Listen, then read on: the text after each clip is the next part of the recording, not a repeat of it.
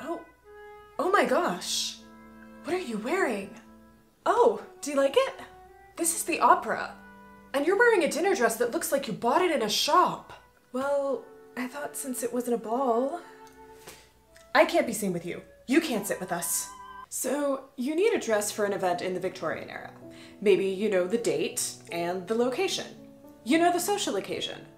But the author of the book you're inspired by has neglected to tell you the details of how anyone is dressed, either because they're a present day author and left the details vague to avoid mistakes, or because they're an actual 19th century author and didn't feel like they needed to describe what clothes looked like 11 years ago. How on earth do you figure out what you're supposed to wear? Hi, I'm V, and thanks to being a historical dressmaker, I spend way too much time pondering questions like this.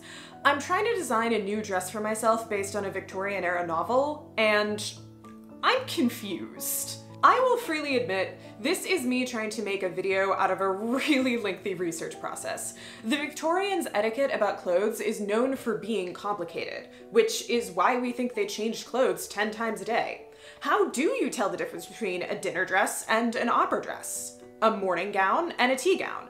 And why do we usually only think of daytime or working dresses and ball gowns for wearing to balls? If you are also curious about these things, subscribe because nerding out about fashion history is what we do here. Side note, in America, 1860s fashion is automatically associated with the American Civil War, Civil War reenactments, and the sort of enslaver core nonsense glorified by Gone with the Wind that makes people think it's okay to go to plantations to play dress up. While it would be incorrect to say that this dress would involve no exploitation if worn by an English character in England, there were and still are huge amounts of exploitation and colonization baked into the textile industry at every level. It is the bare minimum for me to acknowledge that wearing this dress in certain contexts and settings would be deeply disrespectful, and to avoid doing so at all costs. If you are coming here to make a dress for that sort of gone with the wind enslaver core fantasy, stay the frock away. My videos are not for you. Why do we think of all Victorian evening dresses as ball gowns? Balls were some of the most exciting occasions, but they were certainly not the only option. Victorian evening social events varied hugely, just like present day ones, from the casual to the formal. Dinner parties could either be as relaxed as dinner at home or intense and stately affairs. The evening call was literally just some friends dropped by. Although, depending on your social circle and your reputation, that could be two friends or 20. The sociable was an informal party and might involve reading stories out loud, playing charades or acting scenes from plays, or rehearsing music. The soiree was a formal party, like a ball without dancing, and could include more professional musical performances. Balls, of course, did happen. Either private balls hosted at someone's house, or public balls, like the one at the beginning of Pride and Prejudice that's held in the local assembly rooms. And beyond all these, going to plays, concerts, and the opera are all occasions that Victorian etiquette books are happy to tell you how you should dress for. There were three general categories of dresses in 19th century Western fashion. Morning or home, afternoon, and variations on evening dress. In some cases, these are referred to as undress, half dress, and full dress, which has nothing to do with being unclothed and instead refers to the level of formality someone is dressed for. Think of it as corresponding to modern day casual, semi-formal, and formal. Day dresses called for long sleeves and higher necklines, originally for sun protection in the days before SPF. Evening dresses could have short sleeves and very low necklines. These rules seem to originate from 1800 to 1820, often called the Regency period of fashion. Between 1800 and 1810, we start to see more and more variation in the sleeves and necklines, which prior to the 1770s or so were fairly static, down to nearly universal elbow-length sleeves. Then we got long sleeves versus short sleeves and lower versus higher necklines, with rules developing about what was appropriate for what time of day. Throughout the 19th century, the rules became more and more complicated as dresses became more and more varied. As it happens, this coincided with the Industrial Revolution, increasing upwards mobility for the lower and middle classes, more people moving into cities. Coincidence? I think not. Why so many rules? Why so complicated? Spoiler alert, it's classism. Even prior to the Industrial Revolution, the upper classes had distinguished between themselves and everybody else through complicated codes of etiquette, including how they dressed. The Industrial Revolution increased upwards mobility, but those who already had upper class or even middle class status now found it very important to nail down their position on the social ladder for fear of all the new people climbing up. With so many more people living in cities and socializing more widely, and so many more rungs between the high and the low, the social hierarchy and etiquette that established it became more and more rigid and important. As dresses varied more, the rules got more complicated as a snobbish way of weeding out who could and couldn't keep up. Most working class people would have neither reasons nor resources to follow the more complex rules of how to dress. They would be more likely to think of things in terms of their best dress, whatever was made with the nicest fabric, with the most decoration, hence the phrase Sunday best, as opposed to their everyday clothes for doing work in. So to figure out all of these extremely complicated rules that definitely would apply in a place like an English baronet's drawing room, I consulted etiquette manuals and fashion magazines from the 1860s and 70s.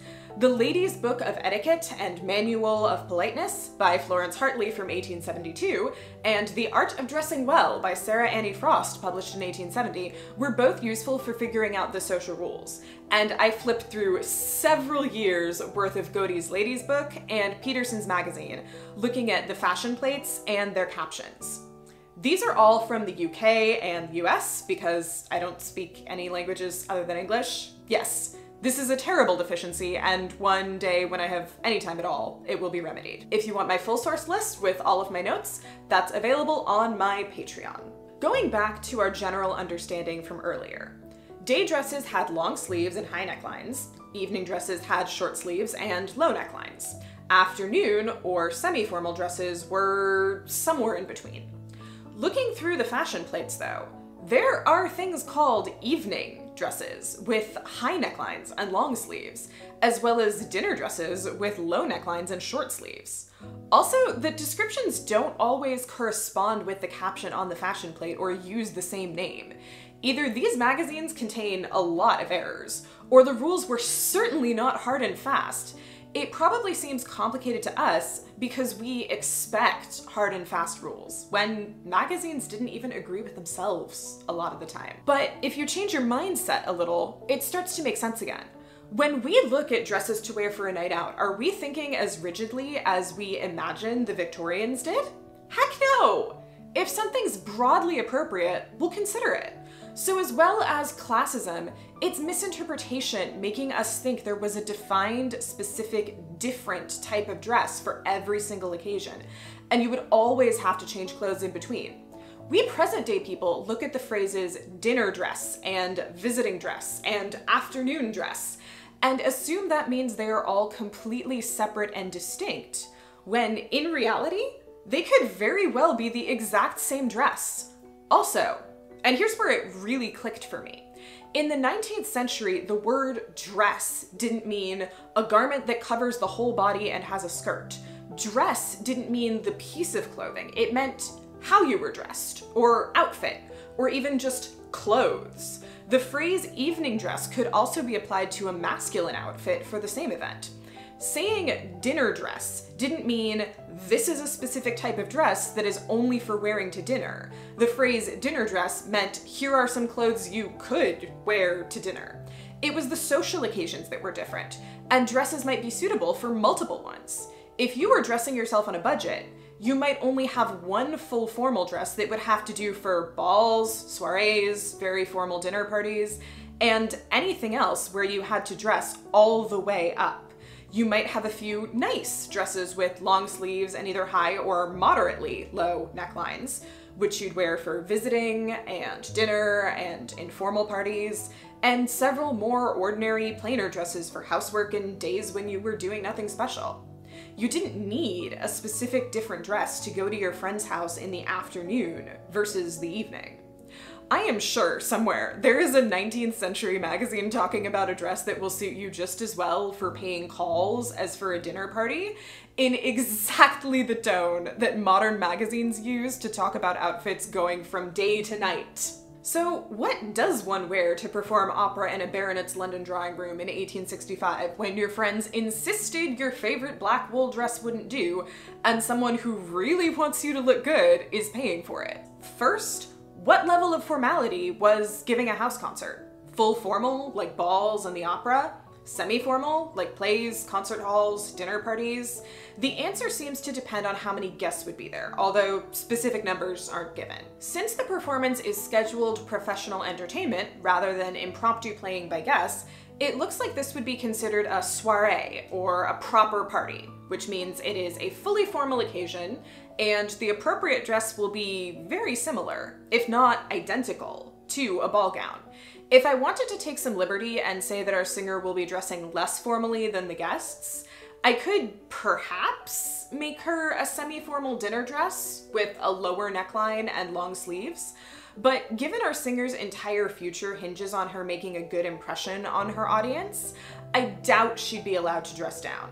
Certainly not by the friends buying her dress for her. So, we're looking at a low-necked, off-the-shoulder bodice with a bertha or decoration around the neckline. Around 1865, bodices could have a straight or a pointed bottom edge. I'm gonna make this one pointed because I like it better. The skirt is a little more complicated. For reasons relating to my own costuming wardrobe needs, I want this skirt to work as both a round bell shape and the proto-bustle silhouette of 1865. I have a variety of ideas for how to manage that, but those will have to wait until a future video where I actually make this dress. If you haven't guessed the novel and character yet, that's fine. I am actually not a huge 19th century literature person, although it is growing on me. I read this book because it centers on Jewish characters. I'm aiming for the year 1865 and following English fashions because that's when and where the novel Daniel Deronda takes place and I want to make an outfit for one of the main characters, Jewish opera singer Mirah Lapidoth, when she performs at a party so she can be introduced to Daniel's circle of upper class friends. There may or may not be opera singing involved in the reveal. Certain concessions will also have to be made for the fact that I'm a blue-eyed ginger and Mirah has dark hair and eyes, so I've chosen fabric for my coloring rather than hers. The alternative was to stop dyeing my hair, and I'm not doing that. And as far as why Victorian dress etiquette seems ridiculous and complicated to us, that's because we expect it to be ridiculous and complicated. And that's what we're looking for when we read about it. It's confirmation bias. While I won't deny that 19th century society was extremely different from ours, 19th century people were still people with the same needs in their lives as us. If you find that hard to believe, Reading George Eliot's wonderfully relatable description of such things as getting up on the wrong side of the bed might fix that. So here's how I'll be thinking about it. I wouldn't wear a t-shirt and jeans to a cocktail party. I'd wear a nice dress, but I could wear that same dress to go out dancing or to a concert. A 19th century person planning their outfits would be thinking just the same way. The clothes may be different, but the attitude is not. I may not have found the hard and fast bit of dress etiquette I was expecting to find when I started researching, but I'm a lot less confused, and I hope you are too. Over the next few months, I'll be putting together all the pieces of this dress, starting with an alternative to a hoop skirt, and then the dress itself. Make sure you've subscribed and ring the notification bell so you don't miss those videos. Leave a like while you're at it, and tell me in the comments about the weirdest thing you've heard about Victorian etiquette. Assuming I don't get murdered by petticoats, I'll see you again soon. Bye!